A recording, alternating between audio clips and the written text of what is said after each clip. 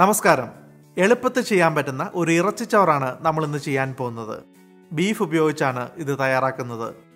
Guys my Nimishan Jio and welcome to the video ഇത് അര kilo beef. ഇതുപയോഗിച്ച് നാല് പേർക്ക് സെർവ് ചെയ്യാൻ പറ്റുന്ന അളവിലാണ് നമ്മൾ ഇന്ന് ഇറച്ചിച്ചോറ് തയ്യാറാക്കാൻ പോകുന്നത്. ബീഫ് നിങ്ങൾക്ക് ഇഷ്ടമുള്ള വലുപ്പത്തിൽ കട്ട് ചെയ്യാവുന്നതാണ്. ഞാനിവിടെ കറിക്കൊക്കെ ഉപയോഗിക്കുന്ന വലുപ്പത്തിലാണ് കട്ട് ചെയ്തിരിക്കുന്നത്. ഇത് പന്ത്രണ്ട് വെളുത്തുള്ളിയുടെ അല്ലി ഒന്നര ഇഞ്ച് നീളമുള്ള ഇഞ്ചിയുടെ കഷ്ണം മൂന്ന് പച്ചമുളക്. ഈ മൂന്ന് ഇൻഗ്രീഡിയൻസും ഒന്നിച്ച് അരച്ച് ഒരു പേസ്റ്റ് ആക്കി എടുക്കുക. അരച്ചെടുത്ത പേസ്റ്റ് മാറ്റിവെക്കുക ഒരു പ്രഷർ കുക്കർ മാത്രം ഉപയോഗിച്ചിട്ടാണ് ഇറച്ചിച്ചോറ് തയ്യാറാക്കാൻ പോകുന്നത്. പ്രഷർ കുക്കർ ചൂടാക്കാൻ വെച്ച ശേഷം അതിലേക്ക് എണ്ണ രണ്ട് ടേബിൾ സ്പൂൺ ഒഴിക്കുക. എണ്ണ ചൂടായി കഴിയുമ്പോൾ ഇതിലേക്ക് ഒരു ചെറിയ സവോള ചോപ്പ് ചെയ്തത് ചേർക്കുക. പിന്നീട് സവോള ഗോൾഡൻ ബ്രൗൺ കളർ ആവുന്നതുവരെ ഇളക്കി വഴട്ടിയെടുക്കുക. സ്റ്റൗ മീഡിയം ഫ്ലെയിമിൽ വയ്ക്കുക. സവോള ഇതുപോലെ ഗോൾഡൻ ബ്രൗൺ കളർ ആയി കഴിയുമ്പോൾ ഇതിലേക്ക് ഒരു ചെറിയ തക്കാളി ചോപ്പ് ചെയ്തത്. വലുതാണെങ്കിൽ ഒന്നിന്റെ പകുതി മതി. അതോടൊപ്പം തന്നെ അരച്ചു വെച്ചിരുന്ന ഇഞ്ചി വെളുത്തുള്ളി പച്ചമുളക് പേസ്റ്റും ഉപ്പ് ഒന്നര ടീസ്പൂൺ അതായത് അര ടേബിൾ സ്പൂണും ചേർക്കുക. ഇനി ഇത് തുടർച്ചയായിട്ട് ഇളക്കുക. തീ മീഡിയം ഫ്ലെയിമിൽ തന്നെ വയ്ക്കുക.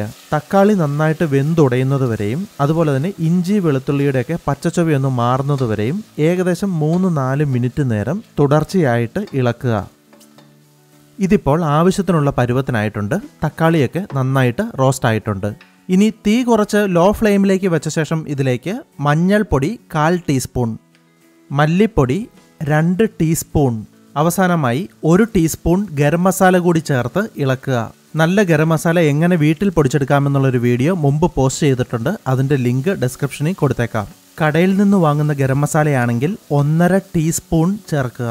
ഗരം മസാല ഇല്ലെങ്കിൽ പകരം ഒന്നര ടീസ്പൂൺ മീറ്റ് മസാല ചേർത്താലും മതിയാകും. മസാലപ്പൊടികളുടെ പച്ചച്ചുവയൊന്ന് മാറുന്നതിനായിട്ട് ഏകദേശം ഒരു മിനിറ്റ് ആണ് ഇളക്കേണ്ടത്. പിന്നീട് ഇതിലേക്ക് കഴുകി വൃത്തിയാക്കി വെച്ചിരുന്ന ബീഫ് അര കിലോ ചേർക്കുക. അതോടൊപ്പം തന്നെ അര കപ്പ് വെള്ളം കൂടി ചേർക്കുക. ഇനി തീ കൂട്ടി ഹൈ ഫ്ലെയിമിലേക്ക് വെച്ച ശേഷം എല്ലാം ഒന്ന് ഇളക്കി യോജിപ്പിക്കുക. പിന്നീട് പ്രഷർ കുക്കർ അടച്ചു വെച്ച് ആദ്യത്തെ വിസിൽ വരുന്നത് വരെ ഹൈ ഫ്ലെയിമിൽ തന്നെ വേവിക്കുക. പിന്നീടുള്ള വിസിലുകൾ ലോ ഫ്ലെയിമിലും വേവിക്കുക. ഓരോ സ്ഥലത്തും കിട്ടുന്ന ബീഫ് പ്രഷർ കുക്കറിന്റെ വലിപ്പം ഇതൊക്കെ അനുസരിച്ച് പിന്നീടുള്ള വിസിലുകളുടെ എണ്ണത്തിൽ മാറ്റങ്ങൾ ഉണ്ടായേക്കാം. ഉദാഹരണത്തിന് ഇന്ത്യയിൽ കിട്ടുന്ന ബീഫ് ഇതുപോലെ അഞ്ച് ലിറ്ററിന്റെ പ്രഷർ കുക്കറിൽ അതും ചെറിയ അളവിൽ ഏകദേശം അര കിലോ മാത്രം വേവണമെങ്കിൽ കുറഞ്ഞത് ഏഴെട്ട് വിസിലെങ്കിലും വേണം. അതേസമയം അര കിലോ ബീഫ് ചെറിയ പ്രഷർ കുക്കറിലാണ് വെക്കുന്നതെങ്കിൽ നാലോ അഞ്ചോ വിസിൽ കൊണ്ട് വെന്ത് കിട്ടും. ഇനി നിങ്ങൾ വേവിക്കുമ്പോൾ വെന്തില്ലെങ്കിൽ ഒന്നുകൂടി അടച്ചു വെച്ച് കുറച്ച് വിസിലുകൾ കൂടി അടുപ്പിച്ചാൽ മതിയാകും. വിസിലുകളെല്ലാം അടിച്ചു കഴിഞ്ഞ് തീ ഓഫ് ചെയ്ത് കുറഞ്ഞത് പതിനഞ്ച് മിനിറ്റ് നേരമെങ്കിലും തുറക്കാതെ മാറ്റി വയ്ക്കണം. ബീഫ് വേവുന്ന സമയം കൊണ്ട് നമുക്ക് ഇറച്ചിച്ചോറിന് ആവശ്യമായിട്ടുള്ള അരി വെള്ളത്തിൽ കുതിർത്തെടുക്കാം. ഇത് രണ്ട് കപ്പ് കൈമ റൈസ് അഥവാ ജീരകശാല അരിയാണ്. മലബാർ ബിരിയാണിക്കൊക്കെ ഉപയോഗിക്കുന്ന ഈ അരിയാണ് ഇറച്ചിച്ചോറുണ്ടാക്കാൻ ഏറ്റവും നല്ലത്. ഇത് നന്നായിട്ട് കഴുകി വൃത്തിയാക്കി എടുത്തതാണ്. ഇനി ഇതിലേക്ക് അല്പം വെള്ളമൊഴിച്ച് കുതിർക്കാനിടണം ഏകദേശം ഇരുപത് മിനിറ്റ് നേരമാണ് വെള്ളത്തിലിട്ട് കുതിർത്തെടുക്കേണ്ടത്. പിന്നീട് വെള്ളം പൂർണമായിട്ടും ഊറ്റിക്കളഞ്ഞ ശേഷം അരി മാറ്റി വയ്ക്കുക. ബീഫ് വേവുന്ന സമയം കൊണ്ട് ഇതെല്ലാം ചെയ്തു വയ്ക്കുക. ബീഫ് നന്നായിട്ട് വേവിച്ചെടുത്തിട്ടുണ്ട്. ഇനി ഇതിൽ നിന്നും ബീഫിന്റെ കഷ്ണങ്ങളെല്ലാം കോരിയെടുക്കണം. പിന്നീട് ഈ ബാലൻസ് ഉള്ള ഗ്രേവി എത്ര കപ്പുണ്ടെന്ന് അളന്നു നോക്കണം. ഇത് കൃത്യം ഒരു കപ്പ് ഗ്രേവിയുണ്ട്. തിരിച്ച് കുക്കറിലേക്ക് തന്നെ ഒഴിക്കുക. അതോടൊപ്പം തന്നെ രണ്ട് കപ്പ് വെള്ളം കൂടി ഒഴിക്കുക. അങ്ങനെ ഇതിപ്പോൾ ടോട്ടൽ മൂന്ന് കപ്പുണ്ട്. ഒരു കപ്പ് ഗ്രേവി രണ്ട് കപ്പ് വെള്ളം. നമ്മൾ നേരത്തെ രണ്ട് കപ്പ് അരിയായിരുന്നു എടുത്തിരുന്നത്. ഒരു കപ്പ് അരി വേവിക്കാൻ ഒന്നര കപ്പ് വെള്ളം വേണം. അതുകൊണ്ടാണ് ബീഫ് വേവിച്ച ഗ്രേവി അടക്കം ടോട്ടൽ മൂന്ന് കപ്പ് എടുത്തിരിക്കുന്നത്. ഇനി നിങ്ങൾ തയ്യാറാക്കുമ്പോൾ മുക്കാൽ കപ്പ് ഗ്രേവിയെ കിട്ടിയുള്ളെങ്കിൽ അതിന്റെ കൂടെ രണ്ടേകാൽ കപ്പ് വെള്ളം കൂടി ചേർത്ത് ടോട്ടൽ മൂന്ന് കപ്പാക്കുക. ഇനി ഇതിലേക്ക് ഉപ്പ് ഒരു ടീസ്പൂൺ ചേർക്കുക. ഇനി സ്റ്റൗ ഓൺ ചെയ്ത് ഹൈ ഫ്ലെയിമിൽ വെച്ച് ഇത് തിളയ്ക്കുന്നതുവരെ വെയിറ്റ് ചെയ്യുക.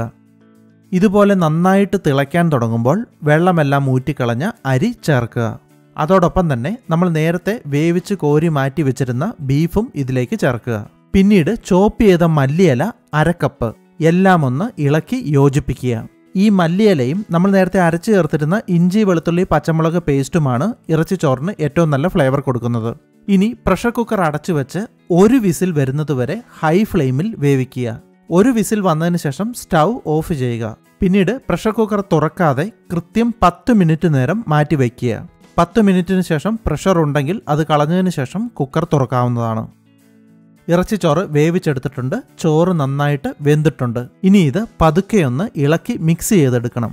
നല്ല ചൂടോടുകൂടി പ്രഷർ കുക്കറിലിട്ട് ഇളക്കി കഴിഞ്ഞാൽ ചോറ് ചിലപ്പോൾ കുഴഞ്ഞു പോവാൻ സാധ്യതയുണ്ട്. അതുകൊണ്ട് ഇതുപോലെ ഒരു വലിയ സെർവിംഗ് ബോളിലേക്ക് കുടഞ്ഞിടുക. പിന്നീട് ഒരു സ്പൂണോ ഫോർക്കോ ഉപയോഗിച്ച് ഇതുപോലെ പതുക്കെ ഇളക്കി മിക്സ് ചെയ്യുക. ഇറച്ചിച്ചോറ് തയ്യാറായിട്ടുണ്ട് ചെറു ചൂടോടുകൂടി സെർവ് ചെയ്യാവുന്നതാണ്. ഇറച്ചി ചോറ് ബിരിയാണിയൊക്കെ സെർവ് ചെയ്യുന്നത് പോലെ അച്ചാറിനും തൈര് ചേർത്ത സാലഡിനുമൊപ്പം സെർവ് ചെയ്യാവുന്നതാണ്. നിങ്ങളുടെ ഫീഡ്ബാക്ക്സ് വിലയേറിയതാണ്. ദയവായി താഴെ കമന്റ് ചെയ്യുക. മറ്റൊരു വീഡിയോയുമായി വീണ്ടും കാണാം. Thanks for watching